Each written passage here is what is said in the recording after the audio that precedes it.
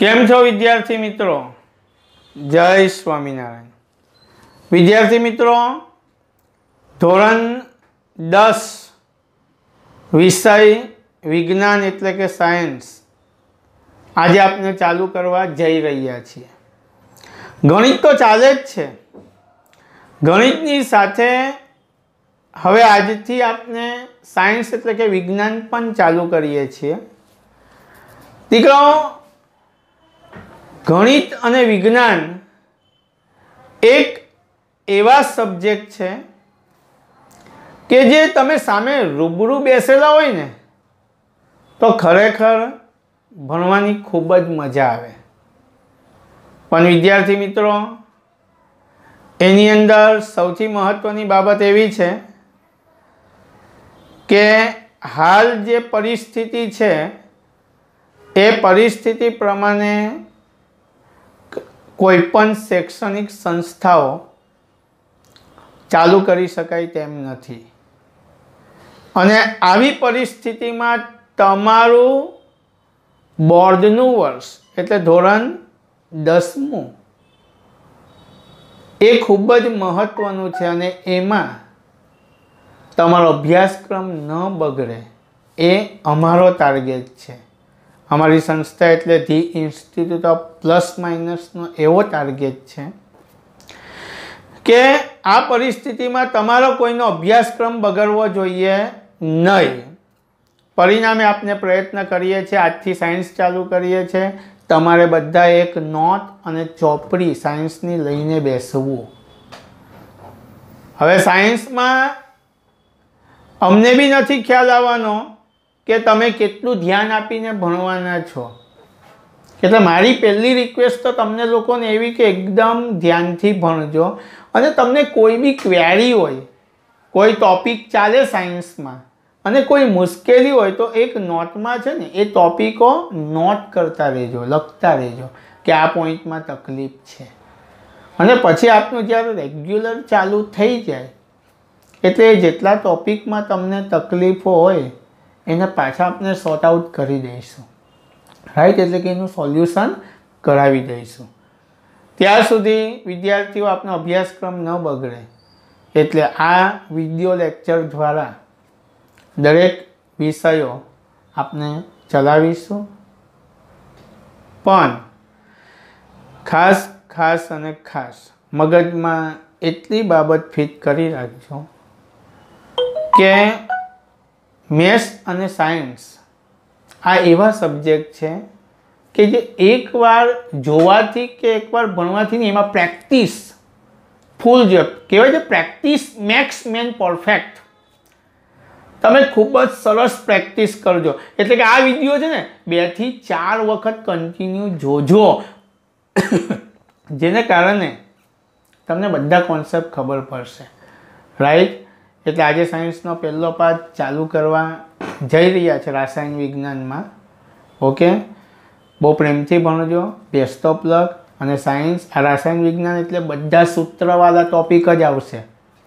Right રાસાયણ વિજ્ઞાનમાં બધા સૂત્રવાળા જ ચેપ્ટર છે, દરેક ચેપ્ટરો એટલે નવમાનો બેસ છે, આમાં એટલે બધા સૂત્રવાળા ચેપ્ટર હશે, શાંતિથી સમજજો, બેથી ચાર વાર વીડિયો જોજો અને જે બી કોઈ ટોપિકમાં તમને તકલીફ લાગે, તો એક નોટમાં લખી દેજો. ચાલુ થાય એટલે એનું સોલ્યુશન કરાવી દઈશું.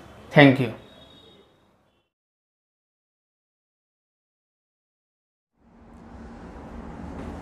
ઓકે વિદ્યાર્થી મિત્રો, અહીં આપણે ધોરણ દસની અંદર ચેપ્ટર નંબર એક જે રસાયણ વિજ્ઞાન માટે સૌથી બેઝિક ચેપ્ટર છે, જેનું નામ છે રાસાયણિક પ્રક્રિયાઓ અને સમીકરણો. એના વિશેની માહિતી આપણે અહીંયા મેળવવાની છે. જે આપણે જોઈએ ચેપ્ટર નંબર એક.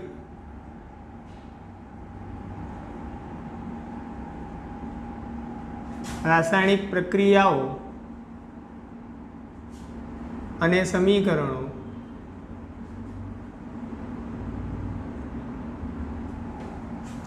હવે, આ ચેપ્ટરની અંદર આપણે અહીં ધ્યાન આપવાનું છે કે રાસાયણિક પ્રક્રિયા અને સમીકરણ. રાસાયણિક પ્રક્રિયા એટલે કે કોઈ પણ પ્રક્રિયકની અંદર જે કોઈ બીજો પ્રક્રિયક ભેગા થઈ, નિપજ બને છે, ત્યારે જે અસ્તિત્વ એટલે કે નવો કોઈ કમ્પાઉન્ડ બને છે, તેને આપણે સાદી ભાષામાં રાસાયણિક પ્રક્રિયાઓ કહીએ છીએ. રોજિંદા જીવનમાં કઈ કઈ રાસાયણિક પ્રક્રિયાઓ આવે છે તે આપણે ધ્યાન પર લઈએ. જેમ કે ખોરાકનું રંધાવું. બીજી વાત કરીએ તો કે ભાઈ શ્વાસોશ્વાસ. પછી વાત કરીએ તો કે ભાઈ ઉદાહરણ તરીકે બીજું લવું હોય મારે, તો તમે લઈ શકો કે ભાઈ લોખંડનો કાટ લાગવો.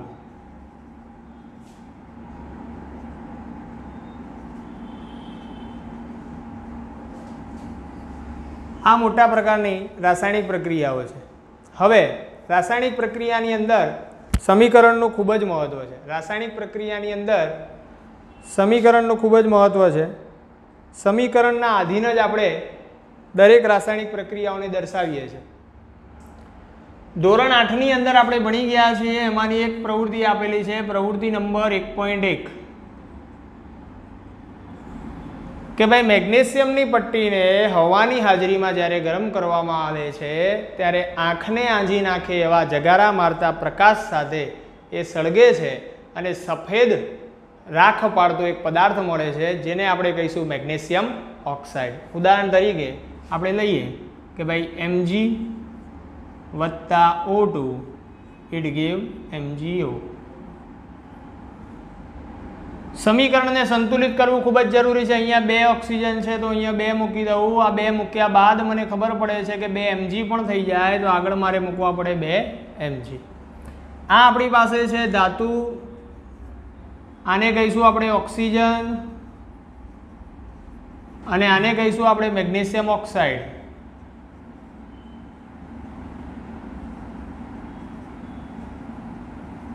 આનો સફેદ રંગ છે.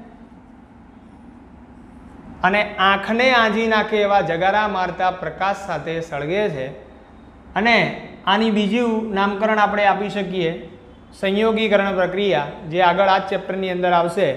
ત્યારબાદ એનાથી આગળ જવું હોય તો કે ભાઈ ઓક્સિડેશન પ્રક્રિયા અને રિડક્શન પ્રક્રિયા એટલે કે રેડોક્સ પ્રક્રિયાની અંદર પણ આપણને અહીં જોવા મળતું હોય છે. ત્યાર પછી આગળ જઈએ. આ તો વાત થઈ ગઈ પ્રવૃત્તિ એક પોઈન્ટ એકની કે ભાઈ મેગ્નેશિયમની પટ્ટીને હવાની હાજરીમાં ગરમ કરવામાં આવે ત્યારે મેગ્નેશિયમ ઓક્સાઇડ સફેદ રાખ પાડતો એક પદાર્થ બને છે, જેને કહીશું આપણે મેગ્નેશિયમ ઓક્સાઇડ. એટલે મેગ્નેશિયમની અંદર અહીંયા આપણે જોડાણ કઈ રીતે થયું? તો ધોરણ નવની અંદર આપણે ભણી ગયા છે કે ભાઈ plus one plus two plus three આવા ચાર્જ માટે મેં કોષ્ટક તમને લખવા માટે આપેલા હતા. કે ભાઈ પચીસ વાર કે દસ વાર એ રીતે લખવા એના પાછળનું રીઝન શું છે કે અહીંયા આપણને ખબર પડે છે કે મેગ્નેશિયમ પ્લસ ટુ છે. જોજો. મેગ્નેશિયમનો વીજભાર પ્લસ ટુ છે અને ઓક્સિજનનો વીજભાર માઇનસ ટુ છે. વીજભારની દ્રષ્ટિએ તટસ્થ થાય છે માટે આપણે આ લખી શકીએ.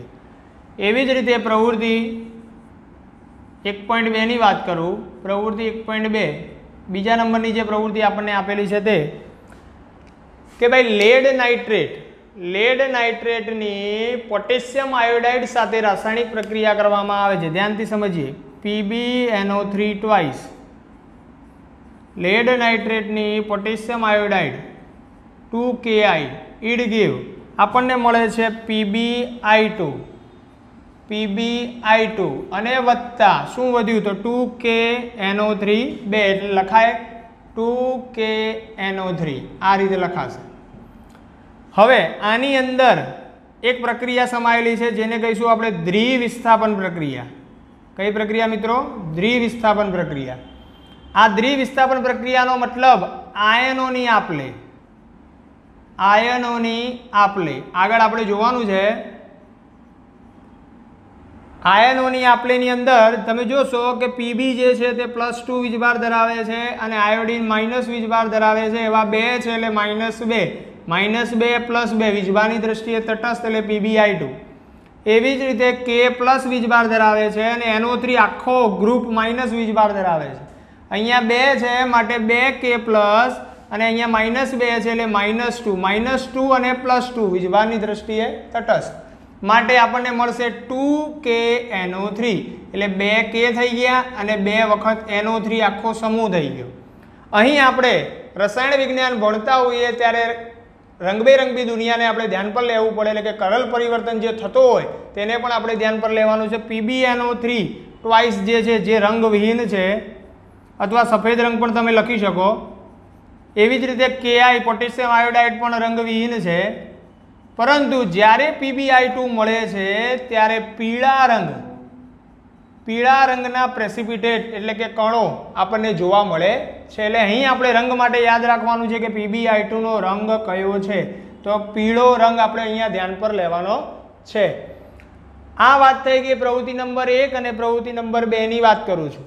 જે તમને ચોપડીની અંદર આપેલી છે સરળતમ પ્રસ્તાવના જેને આપણે કહીએ, ફરીવાર ધ્યાનથી સમજીએ કે ભાઈ મેગ્નેશિયમની પટ્ટીને જે તમને બુકમાં આપેલું છે ફોટોગ્રાફ સહિત, મેગ્નેશિયમની પટ્ટીને હવાની હાજરીમાં, એટલે કે ઓક્સિજનની હાજરીમાં ગરમ કરવામાં આવે, ત્યારે સફેદ રાખ પાડતો એક પ્રકારનો પદાર્થ મળે છે, જેને આપણે કહીશું મેગ્નેશિયમ ઓક્સાઇડ. આંખને આંખી, આંજી નાખે એવા જગારા મારતા પ્રકાશ સાથે આ સળગે છે, માટે આ પ્રયોગ દરમિયાન તમારે સાવચેતી રાખવાની જરૂર છે, એટલે કે એક પ્રકારના ચશ્મા પહેરવા ખૂબ જ જરૂરી બને છે. તો આ એક વાત થઈ ગઈ, રાસાયણિક પ્રક્રિયા. આપણી જે રોજિંદા જીવનમાં, એટલે કે સરળતમ બેઝિક રાસાયણિક પ્રક્રિયાઓમાંની એક પ્રક્રિયા. એવી જ રીતે બીજી પ્રક્રિયા મેં તમને સમજાવી કે ભાઈ લેડ નાઇટ્રેટ પીબીએનઓ થ્રી ટ્વાઇસની પોટેશિયમ આયોડાઇડ એટલે કે કેઆઈ સાથેની રાસાયણિક પ્રક્રિયાથી પીબીઆઈ ટુ જેનો રંગ મળે છે આપણને પીળો રંગ. એક પ્રકારના અવક્ષેપણ એટલે કે કણો જોવા મળે છે, જેનો રંગ હશે પીળો. પીબીઆઈ ટુ વત્તા ટુ કે એનઓ થ્રી એટલે કે પોટેશિયમ નાઇટ્રેટ જેને આપણે કહીશું. શું કહીશું ભાઈ? Potassium nitrate. ત્યાર પછી એક સ્ટેપ આગળ જઈએ. તો કે ભાઈ, એના પછીની પ્રવૃત્તિ આપણને આપેલી છે. એના પછીની પ્રવૃત્તિની અંદર આપણે જોઈશું.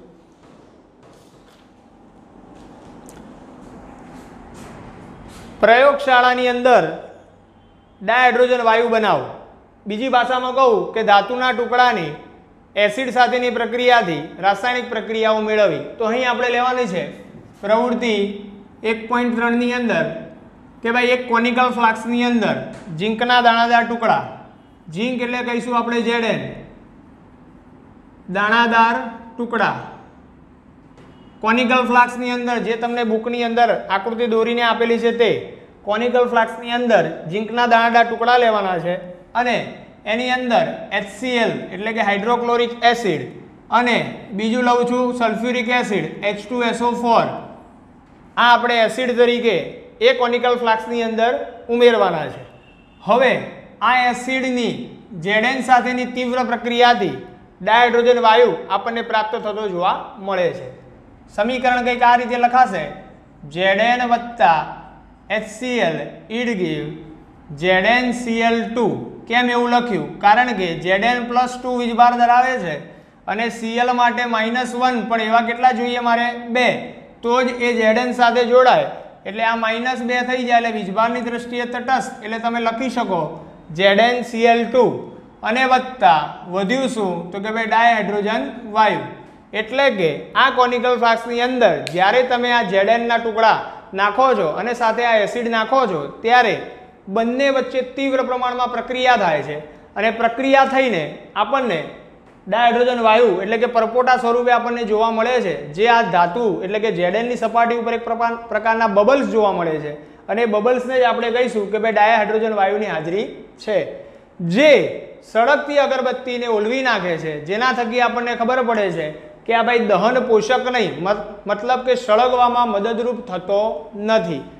ત્યાર પછી આગળ જઈએ કે ભાઈ એવી જ રીતે બીજું સમીકરણ લઉં કે ભાઈ જેડેન વત્તા H two S O four. Z N વત્તા H two S O four.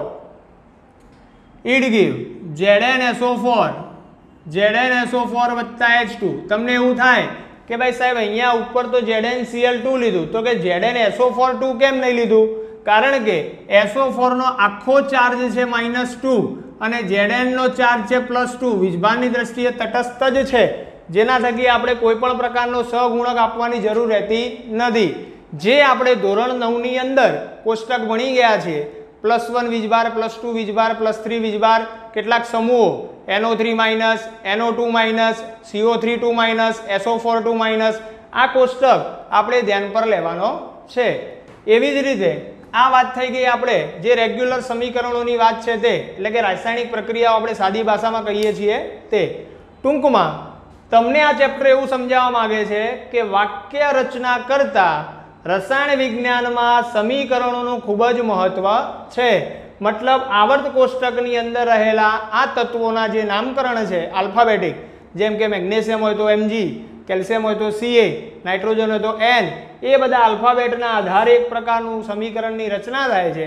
અને સમીકરણ પરથી આપણને ઓળખ મળે છે.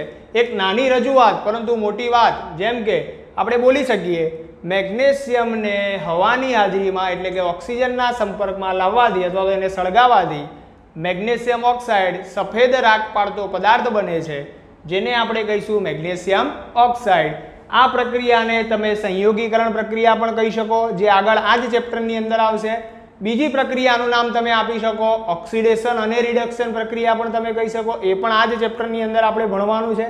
ત્યાર પછી વાત કરું કે બીજો આપણને એક સમીકરણ આપેલું છે કે લેડ નાઇટ્રેટની પોટેશિયમ આયોડાઇડ સાથે રાસાયણિક પ્રક્રિયા કરવાથી પીબીઆઈ કે જેના પીળા રંગના અવક્ષેપ આપણને પ્રાપ્ત થાય છે. મતલબ કે આ સમીકરણ તમને સમજાવવા માગે છે કે ભાઈ લેડ નાઇટ્રેટ અને પોટેશિયમ આયોડાઇડ ભેગા થઈને આપણને એક નવો અવક્ષેપણ એટલે કે નવો પદાર્થ મળે છે, જેને આપણે કહીશું પીળો રંગ પીબીઆઈ લેડ આયોડાઇડ શું નામ આપીશું? લેડ આયોડાઇડ વત્તા ટુ કે એનો થ્રી એવી જ રીતે એક પ્રક્રિયા આગળ છે કે પ્રવૃત્તિ એક પોઈન્ટ ત્રણની અંદર આપણને કોનિકલ ફ્લાક્સ આપેલો છે, જે આકૃતિમાં દર્શાવે છે ચોપડીની અંદર. એટલે કે કોનિકલ ફ્લાક્સની અંદર ઝીંકના દાણાદાર ટુકડા લેવાના છે. આ દાણાદાર ટુકડાની અંદર હાઇડ્રોક્લોરિક એસિડ અને સલ્ફ્યુરિક એસિડ આપણે મેળવવાનું છે. એટલે કે એની અંદર નાખવાનું છે.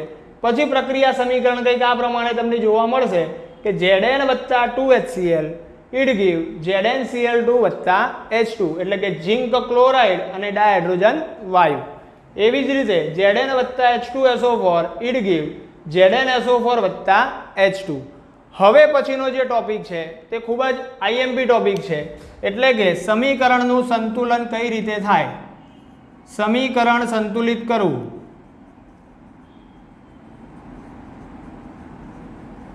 આ સમીકરણ સંતુલિત કરવા માટે ચોપડીની અંદર કેટલાક સોપાનો, એટલે કે કેટલાક સ્ટેપ તમને આપેલા છે. એ સ્ટેપની અંદર આપણે જોઈશું. સ્ટેપ એટલે કે વન બાય વન કે ભાઈ કઈ રીતે સગુણક મૂકવા અને ત્યાર પછી કઈ રીતે એને સંતુલિત કરવું. જેને આપણે કહીશું હિટ એન્ડ ટ્રાયલ પદ્ધતિ. કઈ પદ્ધતિ કહીશું આપણે? હિટ એન્ડ ટ્રાયલ પદ્ધતિ. હિટ એન્ડ ટ્રાયલ પદ્ધતિના આધારે આપણે સમીકરણને સંતુલિત કરવાનો પ્રયત્ન કરીશું.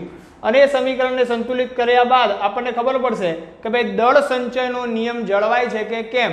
જે આપણે ધોરણ નવની અંદર ભણી ગયા છે કે ભાઈ દળ સંચયનો નિયમ અથવા દ્રવ્ય સંચયનો નિયમ. દ્રવ્ય સંચયનો નિયમ. બીજી રીતે વાત કરું તો કે ભાઈ કોઈ પણ રાસાયણિક પ્રક્રિયકની અંદર સર્જન કે વિનાશ શક્ય નથી. મતલબ અસ્તિત્વના આધારે જ આપણે એને અલગ અલગ નામકરણ આપીએ છીએ. પરંતુ એનું સર્જન કે વિનાશ થાય છે એવું અહીંયા કોઈ પણ જગ્યા પર રાસાયણિક પ્રક્રિયાઓની અંદર દર્શાવવામાં આવતું નથી. ઉદાહરણ તરીકે હું લઉં અહીંયા. એફી વત્તા H two O it give F E three O four વત્તા એચ ટુ એફઈ વત્તા H two O it give F E O four વત્તા એચ ટુ હવે, આની અંદર મારે સમીકરણને સંતુલિત કરવાના છે એટલે કે આ તીરની આગળ જેટલા પણ છે, એને નામ આપીશું પ્રક્રિયક. અને તીરની પાછળ જેટલા છે, એને નામ આપીશું નિપજ. એટલે કે પ્રક્રિયકની અંદર જે સભ્યો જે સ્વરૂપમાં હોય અને જેટલા પ્રમાણમાં હોય તેટલા જ પ્રમાણમાં પ્રત્યેક સભ્યો નિપજની અંદર હોવા જોઈએ. એટલા જ પ્રમાણમાં પ્રક્રિયકમાં જે સભ્યનું અસ્તિત્વ હોય તે જ સભ્ય નિપજની અંદર આવી શકે. પ્રક્રિયકની અંદર સભ્ય ન હોય તો નિપજની અંદર આવે નહીં, કદાપી આવે નહીં. જે પ્રક્રિયકની અંદર હશે તે જ નિપજમાં અને જે જ નિપજની અંદર હોય તે પ્રક્રિયકમાં હોય જ. એ પ્રકારે આપણે અહીંયા સંતુલિત કરવાનું શરૂઆત કરીએ. તો સૌથી પહેલાં જે વધારે ગુણકો હોય, એટલે કે વધારે સંખ્યા હોય તેને ધ્યાન પર લઈએ. જોજો, ઓક્સિજનની સંખ્યા આપણી પાસે કેટલી છે? ચાર. હવે આ ચાર સંખ્યાને આધીન, આ ચાર આપણી પાસે ઓક્સિજન અહીંયા છે, નિપજની અંદર. તો નિપજની અંદર ચાર હોવાના કારણે આપણે જોવાનું પ્રક્રિયકમાં કેટલા છે? તો કે ભાઈ પ્રક્રિયકમાં તો એક જ છે. જો હું સરળતા ખાતર અહીંયા ચાર મૂકું છું, ફરીવાર બોલું છું કે હિટ એન્ડ ટ્રાયલ પદ્ધતિ એટલે કે મૂકીને આપણે ચેક કરવું પડે કે સંતુલિત થાય છે કે કેમ. તો મેં અહીંયા ચાર મૂક્યા, એટલે અહીંયા ઓક્સિજન ચાર છે, તો અહીંયા પણ ઓક્સિજન ચાર. હાઇડ્રોજનની વાત કરું, તો હવે ચાર મૂકતા ખબર પડી કે હાઇડ્રોજન પણ બદલાઈ ગયા. તો અહીંયા બે અને આ ચાર, એટલે ચાર દુને આઠ. હવે આઠ થયા તો પાછળ હાઇડ્રોજન કેટલા છે? બે. તો અહીંયા હું ચાર મૂકી દઉં તો ચાર દુને આઠ. સમીકરણ અહીંયા હાઇડ્રોજન સંતુલિત થઈ ગયું. પછી વાત કરવાની બાકી શું રહ્યું? તો કે ભાઈ એફી થ્રી છે અહીંયા. તો અહીંયા ત્રણ છે, તો આગળ કેટલા મૂકી દો? અહીંયા પણ ત્રણ. અહીંયા પણ એફી ત્રણ થઈ ગયા. ફરીવાર જોઈએ. થ્રી એફી થ્રી એફી ચાર દુને આઠ હાઇડ્રોજન. ચાર દુને આઠ હાઇડ્રોજન. ઓક્સિજન ચાર, અહીંયા પણ ઓક્સિજન ચાર. આ થઈ ગયું સમીકરણ સંતુલિત. ક્લિયર ઓકે વિદ્યાર્થી મિત્રો, અત્યાર સુધી આપણે જોયું કે ભાઈ સમીકરણ કઈ રીતે સંતુલિત કરવું? હવે સમીકરણની અંદર બીજા કેટલાક પેરામીટર પણ ભાગ ભજવે છે. તો એને આપણે આગળનો ટોપિકમાં લઈએ કે ભાઈ સમીકરણમાં અવસ્થા, અવસ્થાઓ દર્શાવવી જરૂરી બને છે. અવસ્થા એટલે શું? અવસ્થા એટલે કે અહીંયા આપણે હું લઉં પહેલો ગણ અવસ્થા, જેને આપણે સોલિડ કહીશું, એટલે એસ દર્શાવવામાં આવે છે. એવી જ રીતે પ્રવાહી અવસ્થા, જેને આપણે લિક્વિડ કહીશું, જેને એલ તરીકે દર્શાવીએ છીએ એવી જ રીતે વાયુ અવસ્થા, જેને આપણે ગેસ કહીશું, એટલે જી તરીકે દર્શાવવામાં આવે છે. એવી જ રીતે જલીય દ્રાવણ જલીય દ્રાવણ એટલે કે એક્વિયસ સોલ્યુશન કહેવાય, એટલે એક્યુ તરીકે દર્શાવીએ છીએ. જલીય દ્રાવણની અંદર શું? કે ભાઈ ઉદાહરણ તરીકે મીઠું, તો એ સોલિડ છે, એટલે કે ઘન અવસ્થા તમે કહી શકો. પરંતુ એ જ મીઠાને જ્યારે આપણે પાણીની અંદર ઓગાડીએ છીએ, ત્યારે થઈ ગયું મીઠાનું દ્રાવણ, એટલે એને કહેવાય જલીય દ્રાવણ એક્વિયસ આ અવસ્થાઓ આપણે ધ્યાન પર લેવાની છે. ત્યારબાદ બીજા પણ કેટલાક સોપાનો છે, કે ભાઈ તાપમાન દબાણ અને ઉદ્દીપક. જે જરૂર જણાય ત્યાં સમીકરણની અંદર દર્શાવવા પડે છે. તાપમાન એટલે આપણે જોઈએ કે ભાઈ બસો ત્રીસ કેલ્વિન કે પચીસ અંશ સેલ્સિયસ કે જે પણ કઈ અવસ્થામાં આવતા હોય તે.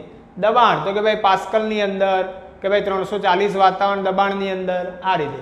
ઉદ્દીપક. ઉદ્દીપક એટલે શું? ઉદ્દીપક એટલે કે એવા ઘટક કણ અથવા તો એવો કમ્પાઉન્ડ અથવા તો એવું કોઈ તત્વ કે જે સમીકરણના સમીકરણના પ્રક્રિયા વેગના સમયને ઘટાડે. મતલબ કોઈ પણ પ્રક્રિયા હોય તો એ પ્રક્રિયાને જલ્દીથી નિપજ તરફ લઈ જાય. પ્રક્રિયાને જલ્દીથી નિપજ તરફ લઈ જાય એટલે સમય ઓછો થાય અને પ્રક્રિયા ઝડપથી આપણને નિપજ આપે.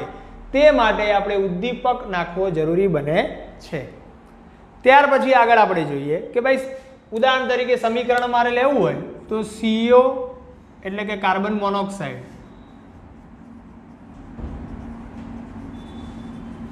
સીઓ વત્તા two H two. It give ત્રણસો ને ચાલીસ વાતાવરણ. આ દબાણનો એકમ છે, આપણે લઈએ છીએ. વાતાવરણ. તો આપણને મળશે સીએસ થ્રી ઓએચ જેને આપણે કહીશું મિથેનોલ. શું કહીશું મિત્રો? મિથેનોલ. જોઈએ આપણે સમીકરણ સંતુલિત છે કે નહીં? બે દુને ચાર, ત્રણ ને એક, ચાર. કાર્બન એક કાર્બન એક, ઓક્સિજન એક ઓક્સિજન એક. સમીકરણ સંતુલિત થઈ ગયું.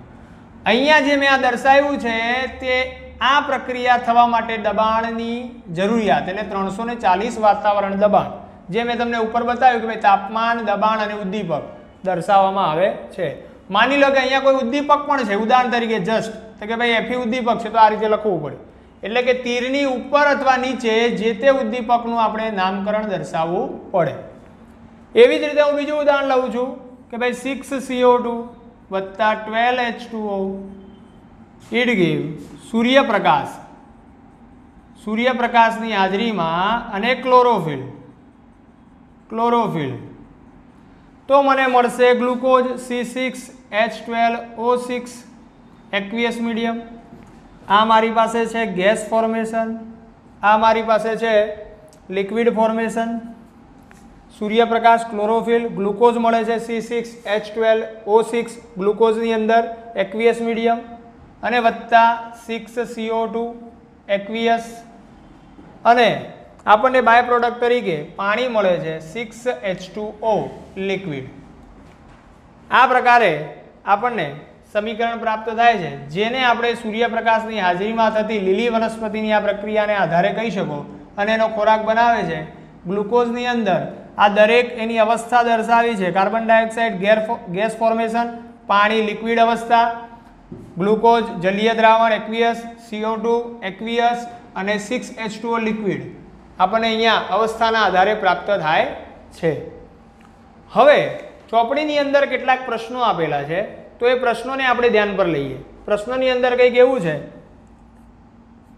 કે ભાઈ મેગ્નેશિયમની પટ્ટીને સળગાવતા પહેલાં એને સાફ કરવામાં આવે છે. તો અહીં આપણે યાદ રાખવાનું છે કે મેગ્નેશિયમ મેગ્નેશિયમ જ્યારે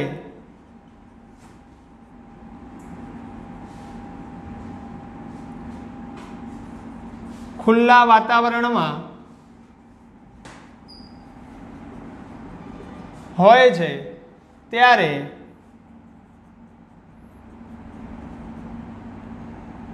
તેના પર ઓક્સિજન, ઓક્સિજનનું એક આવરણ તૈયાર થાય છે.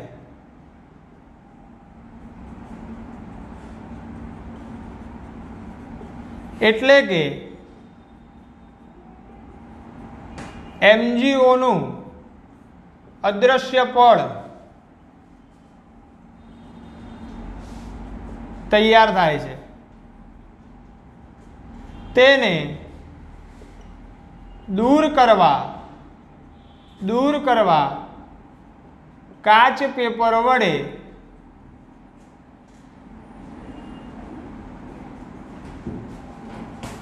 કાચ પેપર વડે મેગ્નેશિયમની પટ્ટીને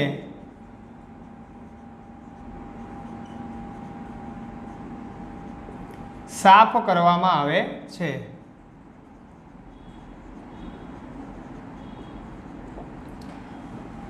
હું આ બોલી સંભળાવું છું ફરીવાર કે ભાઈ મેગ્નેસ સવાલ આપણો શું છે કે ભાઈ મેગ્નેશિયમની પટ્ટીને સળગાવતા પહેલાં શા માટે કાચ પેપર દ્વારા સાફ કરવામાં આવે છે? તો એનું કારણ એ છે કે મેગ્નેશિયમ જ્યારે મુક્ત અવસ્થામાં હોય છે અથવા તો ખુલ્લા વાતાવરણમાં હોય છે, ત્યારે તે ઓક્સિજનના સંપર્કમાં રહે છે. સ્વાભાવિક છે આપણે બધા જ આજુબાજુ ઓક્સિજન, કાર્બન ડાયોક્સાઇડ, નાઇટ્રોજન બધું જ છે. એટલે ઓક્સિજનના સંપર્કમાં રહેવાના હોવાને કારણે એના ઉપર એક પ્રકારનું મેગ્નેશિયમ ઓક્સાઇડનું એક અદૃશ્ય પડ તૈયાર થાય છે.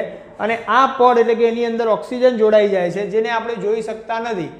એટલે કે મેગ્નેશિયમની પટ્ટી વધુ વ્યવસ્થિત રીતે સળગી શકે ઓક્સિજનની હાજરીમાં. એ માટે કાચ પેપર દ્વારા એને ઘસીને એના ઉપરની આ ઓક્સિજનનું જે પડ એટલે કે જે આવરણ તૈયાર થયું છે, તેને દૂર કરવામાં આવે છે. ત્યાર પછી આપણે અલગથી બીજો નંબરનો પ્રશ્ન જોઈએ. જે ચોપડીની અંદર ઇન્ટેક્સ પ્રશ્ન તરીકે આપેલા છે, તેમાંનો પ્રશ્ન નંબર બે. પ્રશ્ન નંબર બે આપણને એવું કહે છે કે ભાઈ હાઇડ્રોજન અને ક્લોરિન, હાઇડ્રોજન અને ક્લોરીન અને હાઇડ્રોજન ક્લોરાઇડ આપણને નામકરણ આપેલું છે કે ભાઈ હાઇડ્રોજન એટલે એચ ટુ વત્તા સીએલ ટુ અને બે બે છે માટે લખીશું આપણે ટુ એચસીએલ મતલબ સમીકરણ ગુજરાતીમાં તમને લખીને આપેલું છે કે ભાઈ હાઇડ્રોજન વત્તા chlorine it give hydrogen chloride. આપણે એને આ રીતે સાંકેતિક નિરૂપણમાં દર્શાવવાનું છે. તો સાંકેતિક નિરૂપણ કંઈક આ પ્રમાણે. એચ ટુ વત્તા C L two it give two H C L ફરી વાર.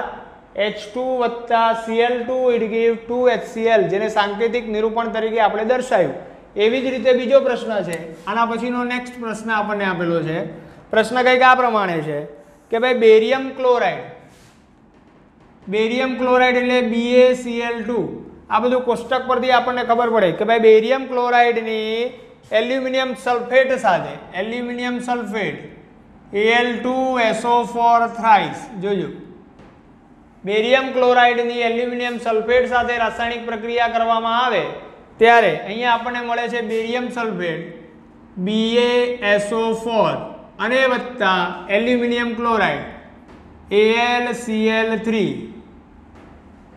B S O four અને એલ્યુમિનિયમ ક્લોરાઇડ અહીંયા આપણે ધ્યાન પર લેવાનું છે.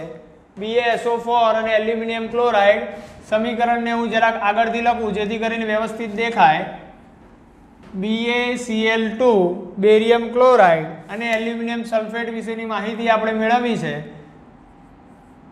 BaCl2 ટુ વત્તા aluminium sulphate Al2SO4 thrice it give શું બનશે? તો કે ભાઈ BaSO4 બેરિયમ સલ્ફેટ અને વત્તા L C L three aluminium chloride aluminium chloride. હવે અહીંયા આપણે સમજીએ ખાસ. શું કહે છે? કે ભાઈ BaCl2 વત્તા aluminium sulphate it give BaSO4 વત્તા AlCl3 એલ્યુમિનિયમ ક્લોરાઇડ તો બીએ પ્લસ ટુ વીજભાર ધરાવે. બીએ પ્લસ ટુ વીજભાર ધરાવે SO4 માઇનસ ટુ વીજભાર ધરાવે. એટલે આ બીએ એસઓ ફોર સાથે જોડાય. Al પ્લસ થ્રી વીજભાર ધરાવે, આ Cl માઇનસ વીજભાર ધરાવે. એવા અહીંયા Al એકના પ્લસ ત્રણ, એક Cl નો એક માઇનસ ત્રણ Cl ના ત્રણ માઇનસ વીજભારની દ્રષ્ટિએ તટસ્થ. અહીંયા પ્લસ ટુ અને SO4 માઇનસ ટુ વીજભારની દ્રષ્ટિએ તટસ્થ. હવે આપણે સમીકરણને સંતુલિત કરતા પહેલા આપણે ધ્યાન પર લઈએ કે ભાઈ પ્રક્રિયકની અંદર શું છે અને નિપજની અંદર. તો પ્રક્રિયકો અને નિપજો. જોઈએ. તો પ્રક્રિયકોની અંદર બેરિયમ હું વાત કરું તો કેટલા છે ભાઈ? તો કે ભાઈ એક. સીએલની વાત કરું તો કેટલા છે? બે. એલ્યુમિનિયમની વાત કરું તો કેટલા છે? બે. સલ્ફરની વાત કરું તો કેટલા છે? ત્રણ. આ સલ્ફર કૌંસમાં છે, એની બાર ત્રણ, એટલે સલ્ફરના ત્રણ થયા. ઓક્સિજનની વાત કરું તો કેટલા થયા? ચાર તરી બાર ઓક્સિજન થયા. જોજો, બાર ઓક્સિજન થયા. એવી જ રીતે નિપજોની અંદર જો હું વાત કરું તો બેરિયમની જ વાત કરું, નિપજમાં પહેલું, તો બેરિયમ કેટલા છે? એક. પછી વાત કરું ક્લોરિન સીએલ સીએલ કેટલા છે? ત્રણ. પછી વાત કરું છું એલ્યુમિનિયમ. એલ્યુમિનિયમ કેટલા છે? એક. પછી વાત કરું સલ્ફર. સલ્ફર કેટલા છે અહીંયા? એક. પછી વાત કરું ઓક્સિજન. ઓક્સિજન કેટલા છે અહીંયા? ચાર. હવે અહીંયા આપણે સમીકરણને પણ સંતુલિત કરવું પડશે. તો સમીકરણને સંતુલિત કરવાનું મેં કીધું કે ભાઈ જ્યાં સૌથી વધારે હોય ત્યાંથી આપણે સ્ટાર્ટ કરવાનું. તો હવે જો અહીંયા હાઇડ્રો, ઓક્સિજન કેટલા છે? ચાર તરી બાર. કેટલા છે? ચાર તરી બાર. ચાર તરી બાર. બાર ઓક્સિજન છે. તો અહીંયા હું ત્રણ મૂકી દઉં. અહીંયા હું ત્રણ મૂકી દઉં એટલે ત્રણ ચોક બાર. સીધું થઈ ગયું. હવે અહીંયા ત્રણ મૂકતા ખબર પડી કે ભાઈ બેરિયમ કેટલા છે? ત્રણ થઈ ગયા. તો બેરિયમની આગળ મારે કેટલા મૂકવા પડે? ત્રણ. હવે અહીંયા ત્રણ મૂકતા ખબર પડી કે ભાઈ સીએલ કેટલા થઈ ગયા? ત્રણ દુને છ. કેટલા થઈ ગયા? ત્રણ દુને છ. તો અહીંયા મારે કેટલા મૂકવા પડે? બે. ત્યારે જઈને મળે બે તરી છ. હવે અહીંયા મૂકતા, આ બે મૂકતા ખબર પડી કે ભાઈ બે એલ છે. તો એલ કેટલા છે જોવાના? એલ પણ કેટલા છે? બે. હવે વાત કરીએ સલ્ફર. તો સલ્ફરની બહાર ત્રણ છે. તો અહીંયા જુઓ, આ ત્રણ એ સલ્ફરના પણ કહેવાય. તો એસની આગળ ત્રણ છે. એટલે એસ પણ કેટલા થઈ ગયા? ત્રણ. સમીકરણ સંતુલિત થઈ ગયું. તો આપણો એનો પ્રશ્ન હતો ત્રીજા નંબરનો. ત્યાર પછી આગળ જઈએ આપણે. અવસ્થાઓને આધારે આપણને એક વાક્ય રચના આપેલી છે. એ વાક્ય રચનાને આપણે ધ્યાન પર લઈશું.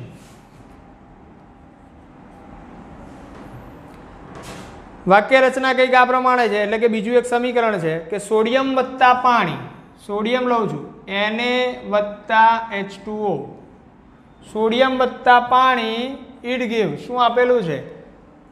તો કે ભાઈ સોડિયમ હાઇડ્રોક્સાઇડ અને ડાયહાઇડ્રોજન વાયુ, એટલે કે ભાઈ NaOH અને વત્તા એચ આ રીતનું ગુજરાતીમાં લખીને આપેલું છે કે ભાઈ સોડિયમ વત્તા પાણી, સોડિયમ હાઇડ્રોક્સાઇડ વત્તા હાઇડ્રોજન.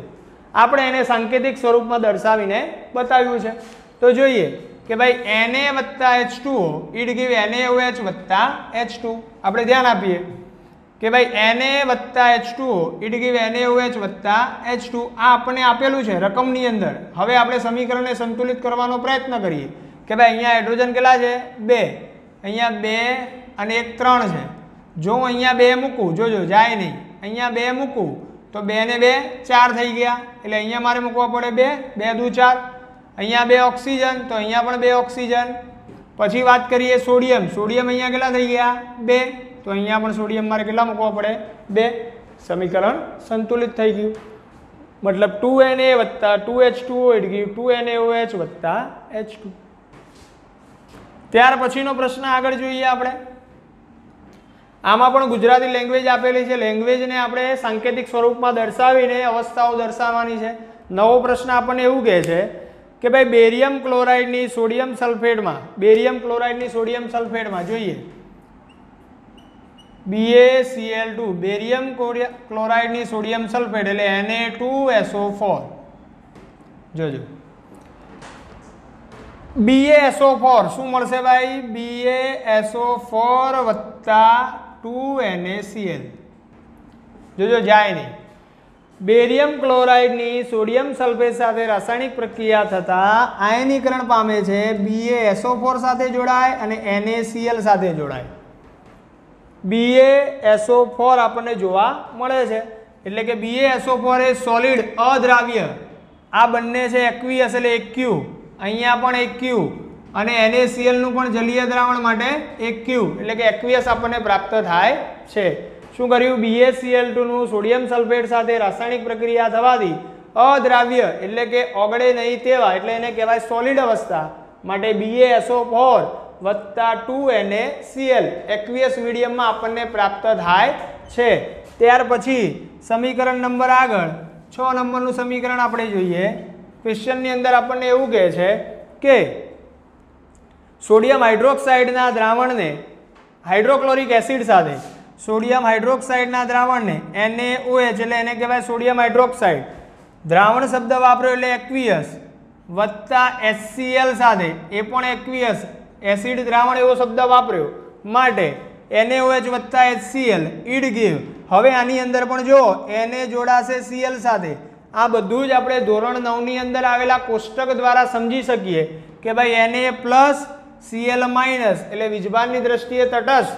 માટે લખી શકું હું NaCl અને વત્તા શું વધ્યું? તો કે ભાઈ બે એચ અને એક ઓ માટે લખી શકું H2O હવે આ બંને એક્વિયસ એટલે જલીય દ્રાવણ, તો અહીંયા પણ સી એનએસીએલ પણ એક્વિયસ દ્રાવણમાં જ મળે છે. અને H2O લિક્વિડ તો છે જ, એટલે એને એલ તરીકે આપણે દર્શાવવું પડે. ક્લિયર આ થઈ ગયા આપણે એક ટોપિક હતો આપણો અવસ્થાનો. બીજો ટોપિક હતો આપણી પાસે દર્શાવવામાં આવે છે તે. શું? તો કે ભાઈ તાપમાન, દબાણ અને ઉદ્દીપક. એના માટેના ઉદાહરણ આપ્યા. ત્યાર પછી આપણી ચોપડીની અંદર આપેલા ઇન્ટેક્સ પ્રશ્નો. એ પ્રશ્નો વિશેની માહિતી આપી. એ પ્રશ્નો અહીં આપણા પૂરા થાય છે. ક્લિયર ઓકે કરી દેજો. Thank you